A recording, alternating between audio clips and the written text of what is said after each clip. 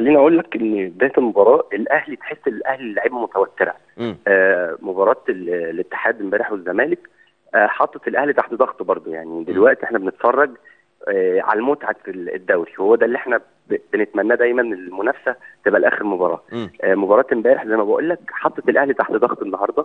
آه النادي الأهلي بيلاعب نادي كبير جدا جدا النادي الإسماعيلي. مهما كان ظروف الإسماعيلي بيمر بيها يبقى اسم نادي الإسماعيلي ولعيبة نادي الإسماعيلي.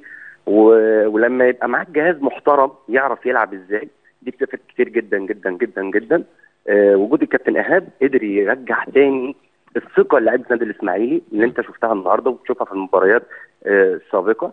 آه النهارده النادي الإسماعيلي آه كان محظوظ إلى حد ما في اللي اللعيبة بتلعب بدون ضغط عصبي كبير آه. جدا.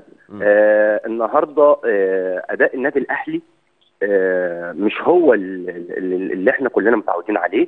زي ما بقول لك آه، في جزء كبير جدا موسيماني كان آه، ساعد نادي الإسماعيلي فيه. في إيه بالظبط؟ ساعد. الإسماعيلي إزاي؟ ساعد الإسماعيلي إن أنا النهارده التغييرات اللي تمت إن أنا النهارده آه بلعب بثلاثه ديفندر. آه وأنا كسبان واحد. آه عايز امن المباراة. ولما بتلعب آه، فرقة كبيرة زي الإسماعيلي آه انت آه في اي وقت من الاوقات وطالما انت بتنافس لازم تجيب جون واثنين عشان تقدر تخلص المباراة بدري. آه، موسيماني وصل رسالة ان أنا عايز احافظ على الهدف لما لقى الاسماعيلي آه، بتغيير مدبولي بمحمد صادق. فرق كتير جدا في. أداء النادي الاسماعيلي.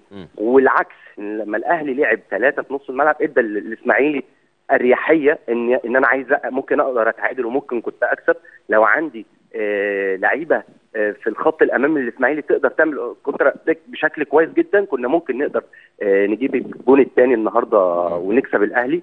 ولكن آه، تغيير محمد طاهر آه، أنا كنت بشوف إنه كان لازم يبدأ بيه لأن من اللعيبة الكويسة جدا اجاي مش مش هو الوقت بتاعه دلوقتي يعني آه. آه. صعب جدا إن أنت ترجعه آه، من من فترة غياب كبيرة جدا وتلعبه قصاد فرقة كبيرة اللي أنا بقول لك نادي الإسماعيلي فريق آه. كبير ما لا لا لا أحد يستهان به آه، فالنهاردة بداية أجاييه مش ده كان بداية صح لأن هو الغلط اجاي من مستواه. متراجع بشكل كبير الف... من ساعة عودته من الإصابة بالظبط هو ربما فضلوا على طاهر لأن طاهر نفسه لسه راجع القايمة بعد من ساعة الأولمبياد فواضح إنه بص يعني- طاهر مم. مهما كان حتى لو إحنا نقول مجهد آه. وجوده في الملعب صح. آه بيدي رسالة لل- للفرق أنت لما يكون عندك لعيبة تقال ولاعيبة خبرة وقيمة طاهر محمد طاهر آه بتوصل رسالة للفرق اللي قدامك اللي انت نازل عايز تكسب عايز تخلص الماتش. عندك انت كل بونت انت النهارده بص الحسابات النهارده كل فرقة بتنافس هت- هت- هتأثر في بونت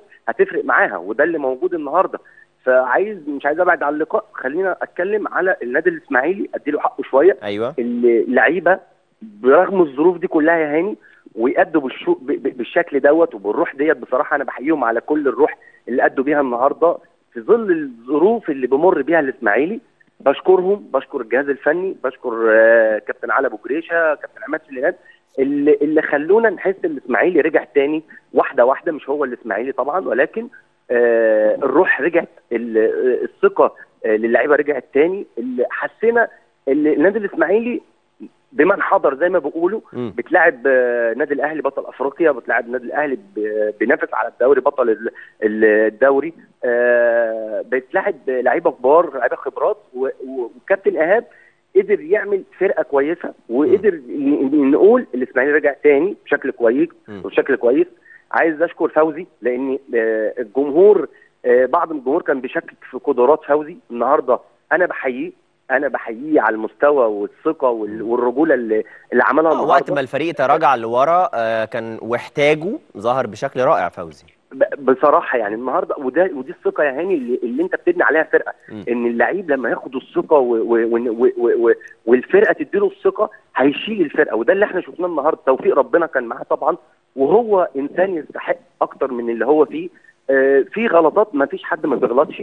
بس إحنا كل الدعم ليه إن هو آه يقدر يشيل النادي الإسماعيلي مع الدعم اللي موجود كمان من من الموسم الجديد. بشكر مدبولي قدر إزاي ينزل يغير المباراة في الشكل الهجومي باستحواذه على الكورة الاسماعيلي كان ناقصه حد يقف على الكورة فاضل آه. آه. النهارده يعني ما كانش في الفورمة ما كانش فايق يمكن التغييرة اللي حصلت ديت غيرت سير المباراة للنادي آه. الإسماعيلي صح آه، المهم قلت بقى يعني اتكلمت في نقطة مهمة قوي يا كابتن حسني على إن الإسماعيلي ده الفريق اللي ما ينفعش حد يستهين بيه مهما كان وضع الإسماعيلي في موسم أو موسمين. طيب بالاستقرار اللي حاصل بمحاولات التجديد للكابتن إيهاب جلال قبل ما تخلص بشكل رسمي الفريق ناقص له إيه عشان ينافس يرجع ينافس على لقب الدوري مرة تانية لو اتكلمنا على الموسم اللي جاي مثلا؟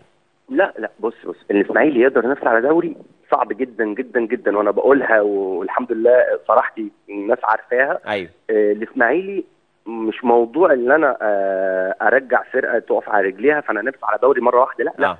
الموضوع المنافسة على بطولة أو إن أنت تحقق بطولة ده محتاج شغل كبير جدا جدا جدا مم. اولا الاستقرار الإداري اللي مش موجود في النادي لسه أنت داخل على انتخابات مش عارف الاستقرار هيبقى على مين.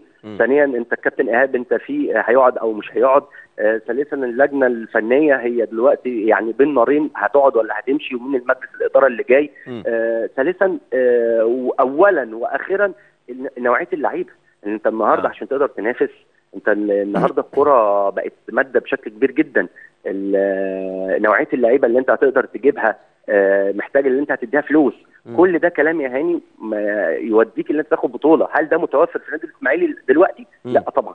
النادي الاسماعيلي أنا شايف إن وجود الكابتن إيهاب مطلب جماهيري مطلب آه، يعني ما نقدرش نقول آه، واحد في المية لأ ولا آه لأ ده إحنا لازم نأكد مليون في المية على وجود الكابتن إيهاب جلال وجود تمام. اللجنة الفنية. آه، ودعم من اللعيبة المحترمة لو خمس أو أربع لعيبة تقال تقال يعني يعني لعيبة خبرة تقدر آه، تفرق مع نادي الإسماعيلي مع اللعيبة اللي موجودة ومع وجود الكابتن إيهاب ومع وجود آه، مجلس إدارة أنا بقول أهو وجود مجلس إدارة يسيب كل واحد يشتغل في الحتة مفهوم. اللي النادي الاسماعيلي يرجع بيها طيب. وده اللي إحنا شفناه وضحت إحنا جدا في- وأعتقد إنك قلت روشتة يعني مهمة الاستقرار الفني والإداري واللاعبين اللي عندهم قدرات يخلوا الإسماعيلي يرجع مش بس يبقى واقف على رجله بل ينافس على الالقاب كابتن